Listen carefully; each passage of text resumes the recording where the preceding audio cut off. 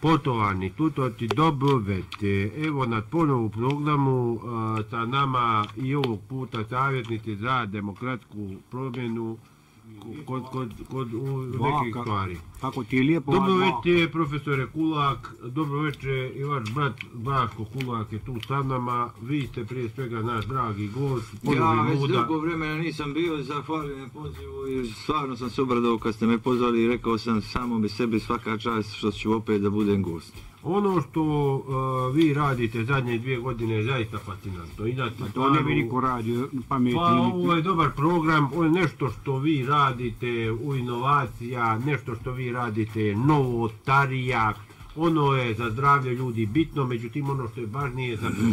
Molim? Za progres, zamjena akvarijuma i e, stopovanje, da tako kažem, stopovanje akvarijumske vode, da Ma se ne, pro- pa- kakve znači vi natjerujete ljude koji imaju akvarijume da stopuju vodu, da je čiste, da se odvaga, da se svaka riba provaga, za šta se Ma radi, kako topovanje robe jebe mu ne mater. robe nego vode, Vode. stopovanje. Čovjek radi pr- prvo pranje ribica. Ne znači, to, prvo a pranje znam ribica. ja to šta vi A pričate. pa to je najvažnija stvar koja se radi. Pazite, mi smo radili jednu anketu koliko ima akvarijuma u, u našem ovdje okruženju, u našoj državi, a bilo ih je 2000. godine, u svaka sedma kuća imala akvarijum. Jest. Od tih e, sedam, sedam kuća, odnosno svake sedme kuće, od tri je bilo bez ribica, što je bilo stvarno mnogo Poraz. Po, porazno. Natalitet je bio nikakav. Nikakav. vidio. Jeste.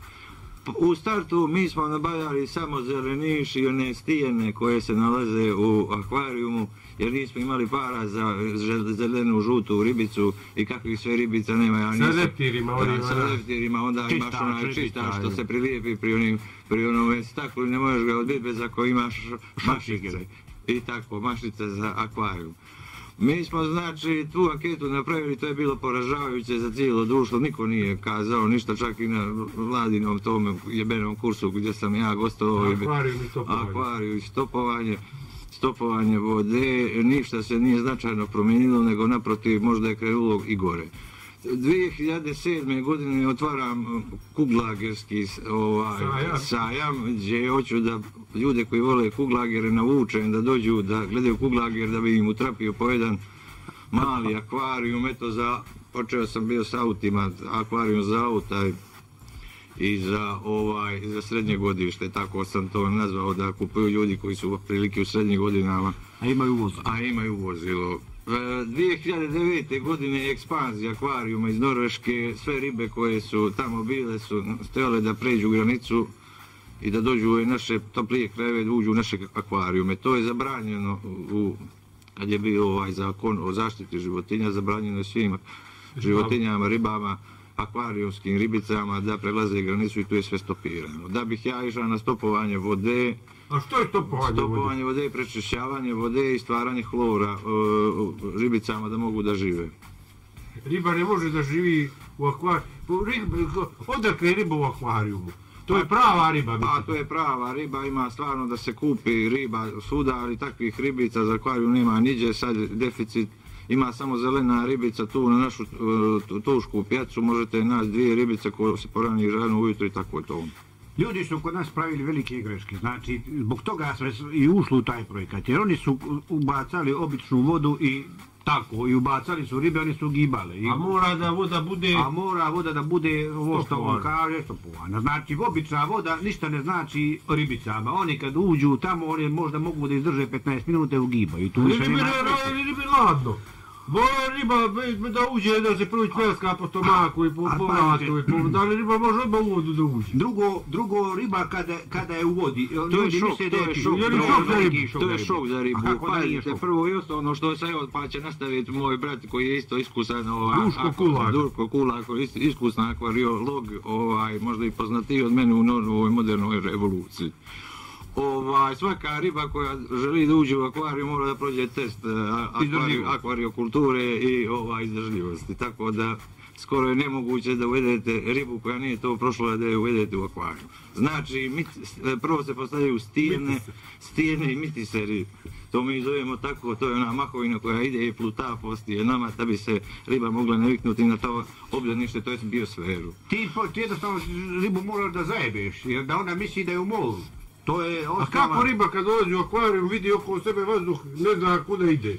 Kad je akvarijum visi, stoji i Pa oko ste, ne- ako nemate akvarijum, gledali ste one plopuhe što se prave na vodi, tu riba osjeća da je ušla u vodu. Znači, kad se napravi na klopuh, to isto kao skočiš u vodu, pa ono ti prsne gore, tako i ona uživa u čarima vode. A je li ribi čudo kad vidi da mi stojimo izvan akvarijuma i pitali se Ne, riba je ti je kao ovca, ona uđe i ona misli da je u moru. Međutim, onda se pita sigurno zašto je ovo more ovako malo, jer udara glavom, u glava da udara glavom u zid. I ko su ovi što gledaju? Čije su ovo oči? Da li je ovo ajkula? Jer oni ne znaju da postoji čovjek. I to je veliki problem, razumijete, da, jer riba ima taj stres. Ona ne zna ni da je ko je gazdan jednak ne hrana. Ona je učila da lovi, a nema ništa da ulovi, nego da baca neke mrvice, nekakve mrvice, papiri, konfete ona to ujede. I što je još najvažnije, svaka ova ribica koja ulazi u akvarijum mora da prođe ovaj fizički, fizički test fizičke kulture, jer svaka od onih riba, ako ste vidjeli u akvarijum, udara u zidove s unutrašnje strane i tako ima povrede vrata. Tad da ne bi došlo do toga, svaka riba prije ulaska u akvarijum ima po 6-7 hiljada udaraca u glavu da bi ona se navikla kad uđe i udare s Ne bi unutrašnje sada kukavica strane. navikla da udara. Eto, to Da, je... da. A kako njoj, da li druge ribe kad ona uđe, da li starije ribe objašnjavaju ovo ti je srećo akvarijum, ovo je malo, ovuda, mi živjet ćeš s nama, tu je... Pa mislim da to nema dovoljno veze, svaka riba koja uđe ranije u akvariju ima neko iskustvo i mudrost i tako ja sam sretao malu miš ribicu koja je učila velikoga krapa koji nije želio da uđe, da, da se skine i da uđe u vodu. E, no, je- U kupači. U no još je dio gore našeg akvarijuma, no, Ima. metalno i tako se ladiju. Ima, ima riba koje se stide da uđu, jednostavno ima se stide da uđu u vodu, da se skinu. Ne vidim razloga za to. A one su osuđene da, da budu u akvariju. A one su osuđene da budu akvarijum. I ovo smo pričali, ribice moraju da se peru, jer one jako su u vodi, one se glibaju. To, to je od A onih... kako riba može po cijeli dan u meni je to čudno. Može li izađe napolje da spava? A sigurno ne želi da izađe. utopiti izaći ako do- ostane da u Pa, akvariju, usuće se voda u usta i utopit će se. Ima ljudi koji prave strašne greške, pra- prave veliku vodu, bobace, djeca se igraju sa ribicama, misle da ih mogu upatiti, hoće mačka da ih izije, veliki su to stresovi. Djecu, e. Samo bih rekao ovim ljudima koji nemaju para da kupe akvarijume, a koriste vodokotliće, da ne stavljaju ribice za akvarijum vodokotliće, jer ništa nisu činili, oni će proći kroz ono srijevo dolje i vratit će i povući u šolju. A da li riba može da preživi u šožu, u- da ne prezimi, nego da preživi u šožu? Ima velika opasnost, samo da te damo opet nego što on završi. Kada prođe ribica mala krošolju i uđe u kanalizaciju, velika je, to će Da da postane aligator. A nije, nego može ona da se nađe, da se ide ona tamo mi- gdje sijevi izlaze u more i da Nije, se nego ona nađe. mutira, tamo ima velikih pacova, onda je pacovi Mislite da nut- nutira? Muti- mutira. A recite mi ovo, vi se bavite savo ribom. Savo riba je pola čovjek, pola riba, pola savo. Znači, to su tri, tri polovine, Pa tri trećine jedne cijeline. bolje polovine ste mi rekli. To, to Tri je polovine, ne, tri tri ne polovine. Da. Što je savo riba? Savo riba je samo krajak od ribe i on se ne koristi ništa. Riba ga samo eto tako ima da bi, ja ne znam koje je moje svojstvo.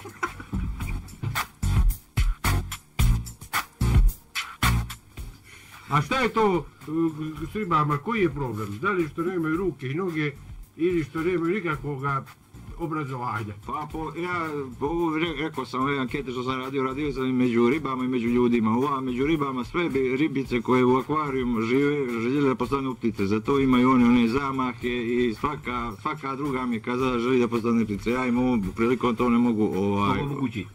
Ja Ja sam pokušao da ih, što se tiče tog obrazovanja, da ih edukujem i stavljao sam, lijepio sam na ono staklo azbuku, vidim goveda, ništa ne čitaju. One ne vide, ne su male, znači male ribicama mora baš mala azbuka se I nema šanse, koliko god držite ribu ri- u akvarijumu, koliko god se vežete, nećete čut glasa od nje. I još bih možda rekao ovim ljudima koji imaju akvarijum i njih je stvarno malo kada riba izbeči, ono, primakne se staklu da se ne prepanu, da je to tako normalna proće da spavala. Hvala, večeras.